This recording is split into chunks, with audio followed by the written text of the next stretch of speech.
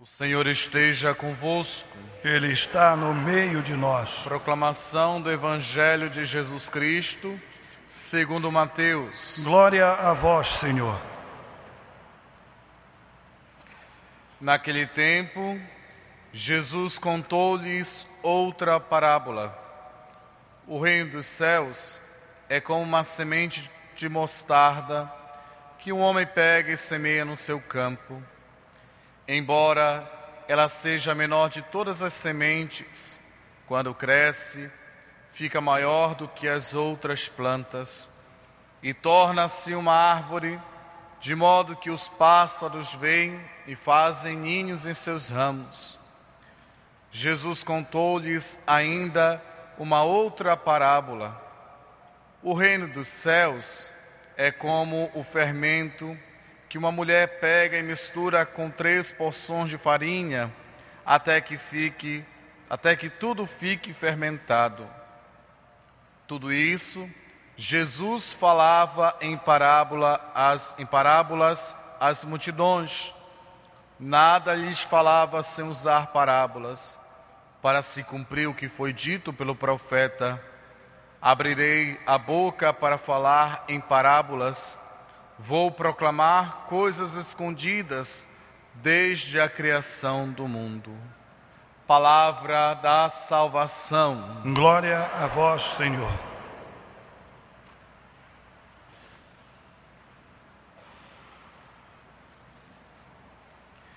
Queridos irmãos e irmãs, Deus tem uma pedagogia muito bonita para realizar o seu plano de salvação da nossa vida. Hoje, quando ouvimos a leitura do profeta Jeremias, Deus toma o profeta e pede para ele fazer um gesto, enterrar o cinto.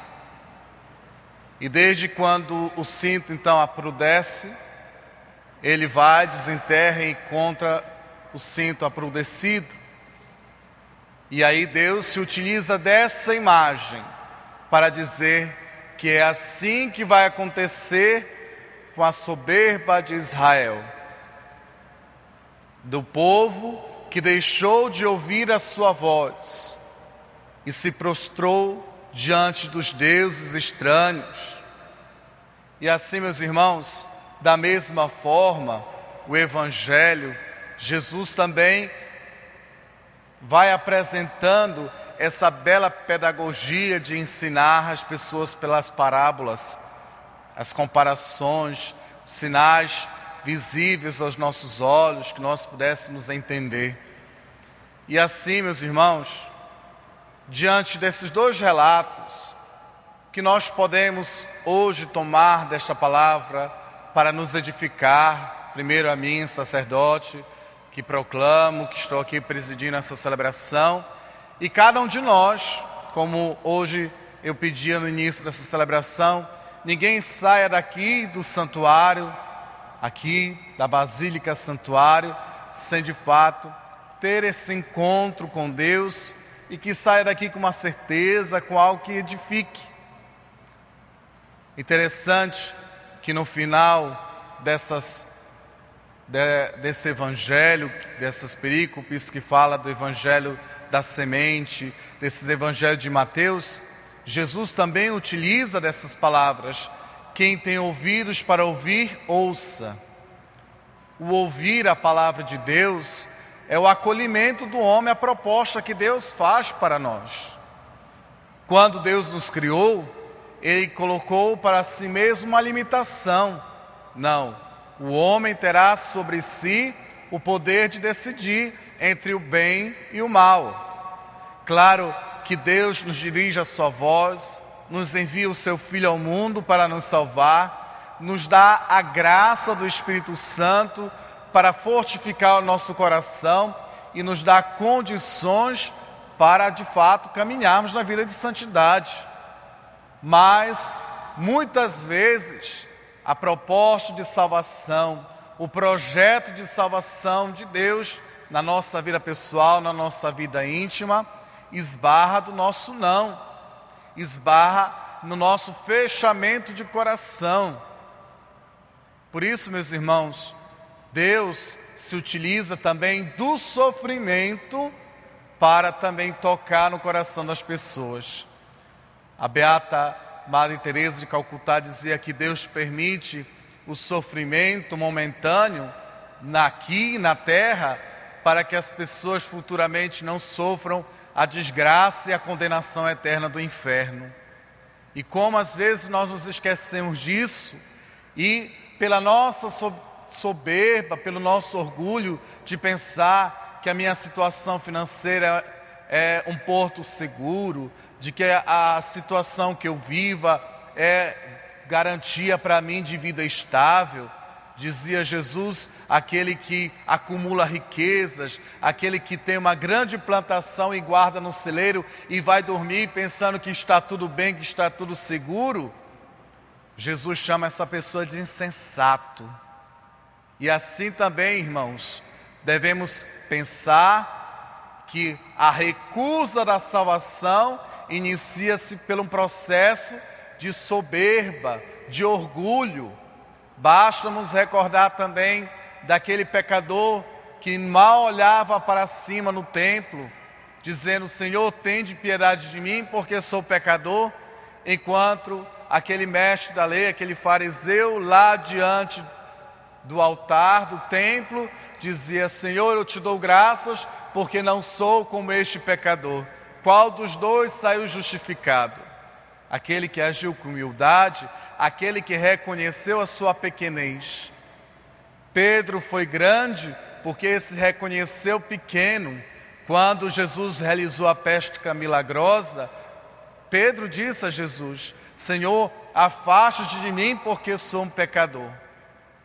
Por isso, meus irmãos, primeiro sinal de recusa da salvação, primeiro sinal da recusa da ação de Deus na nossa vida é a soberba, é pensar que se guiando pela própria cabeça, a pessoa pode conseguir chegar ao objetivo que Deus coloca, e muitas vezes não é assim. Quem quer de fato descobrir a beleza de ser orientado por Deus, tem que ser revestido das vestes da humildade. Ouçamos o que hoje o profeta Jeremias fala para nós. Por causa da soberba, do orgulho de Israel, esse povo será humilhado. E é isso que Deus também quer provocar muitas vezes no nosso coração, quando Ele permite que um sofrimento aconteça na nossa vida.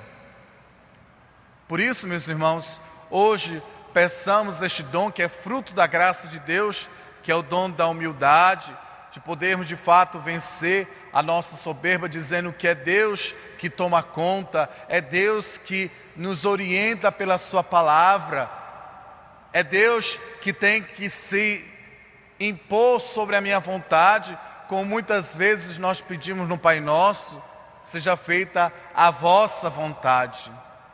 Mas a soberba, o orgulho, fecha não somente o coração do homem, mas também os seus ouvidos. E por isso, hoje nós ouvimos da sua leitura: não me ouviram, não me escutaram, recusaram a minha palavra, recusaram a sua salvação.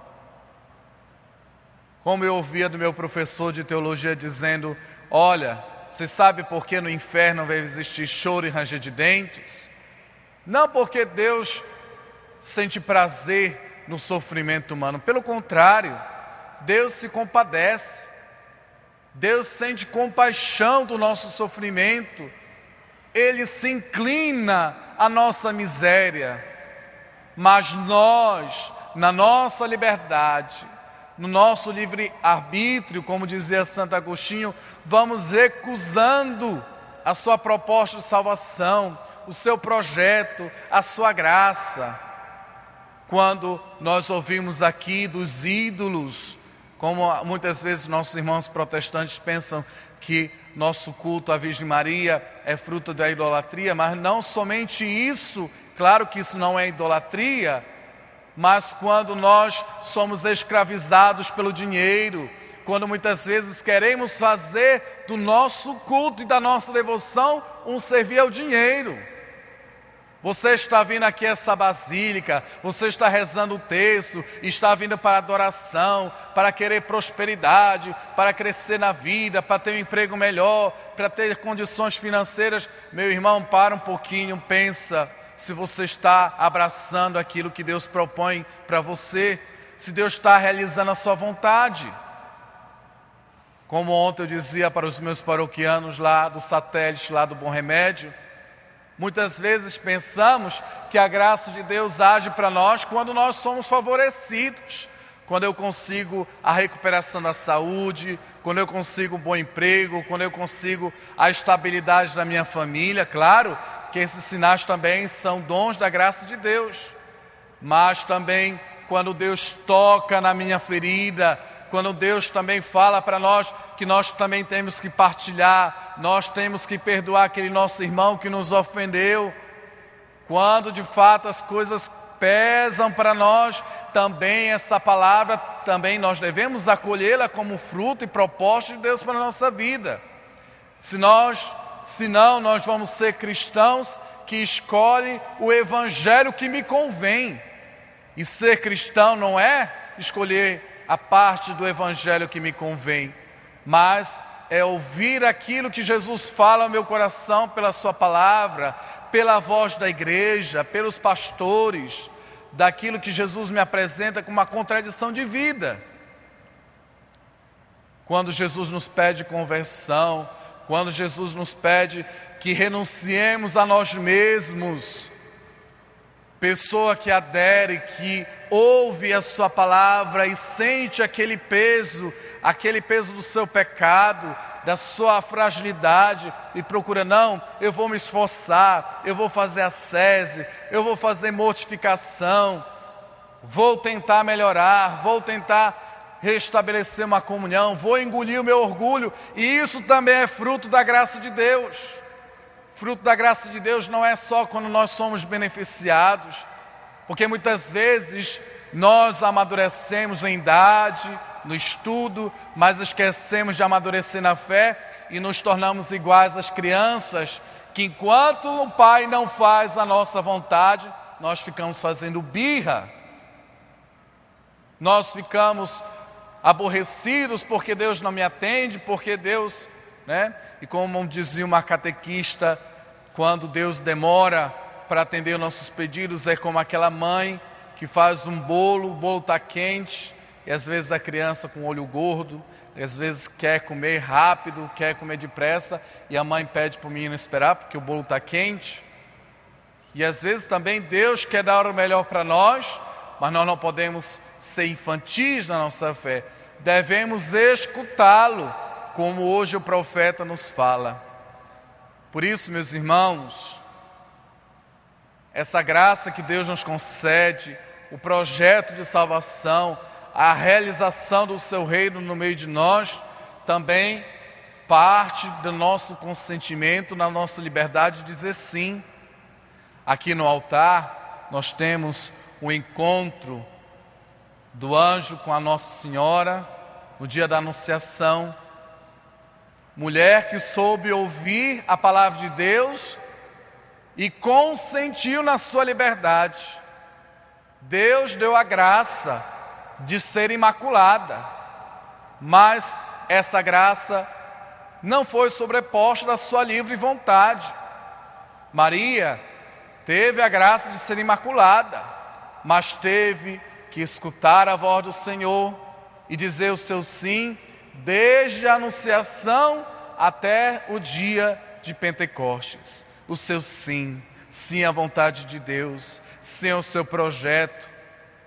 E hoje, meus irmãos, peço muito a Deus para que cada um de nós crie essa consciência cristã, que Deus é favorável conosco, não na medida que nós nos realizamos, Deus realiza todas as minhas vontades, mas na medida que Deus vai realizando a sua vontade em nós.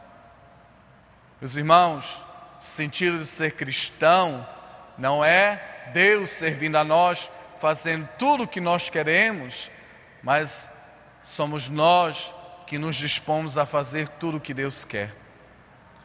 Por isso, hoje peçamos a Deus que nessa compreensão de estarmos atentos à Sua palavra, e daí a necessidade, meu irmão, minha irmã, de você que nos acompanha pela televisão, da nossa oração, mas não uma oração mecânica, uma oração que nós paremos três, quatro minutos. Proponho também para nós, como devotos de Nossa Senhora, a oração do terço, aquela repetição, aquela oração insistente, que Jesus também nos ensina a sermos insistentes na oração. Por isso que ele conta aquela, aquela parábola da viúva que incomoda o rei, dizendo: Faze-me justiça. E o rei atende porque a mulher começa a aborrecê-lo. Daí, meus irmãos, uma oração que permita que Deus transmita a sua palavra que vale muito mais do que Deus escutar nossas preces, é uma oração que nós nos deixamos levar pela vontade de Deus. Assim como aconteceu na vida de muitos santos, pessoas que fizeram o mínimo, que eram uma sementinha no meio de uma multidão, mas que transformaram realidades e a vida de muitas pessoas. Por isso, peçamos a Deus que cada vez mais ele converta o nosso coração para que estejamos atentos, para que possamos engolir o nosso orgulho, a nossa soberba e dizer: Senhor, não somos nada sem Ti, não somos nada sem a Tua graça, nós dependemos inteiramente de Ti. E por isso, realize em nós a Tua palavra, o Teu projeto de salvação.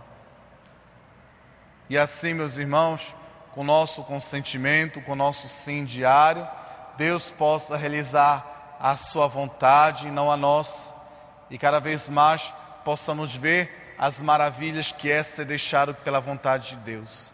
Quem está atento, quem está disposto a ouvi-lo, como hoje Deus fala do cinto aprudecido para o profeta, que nós possamos agir de forma contrária para que o nosso destino possa ser o oposto daqueles que foram soberbos, daqueles que foram pessoas cheias de orgulhos, de orgulho, para que isso nunca venha sobre nós e possamos sempre ter o coração de Nossa Senhora também em nosso coração, humilde, sereno e confiante. Louvado seja nosso Senhor Jesus Cristo. Para sempre seja louvado.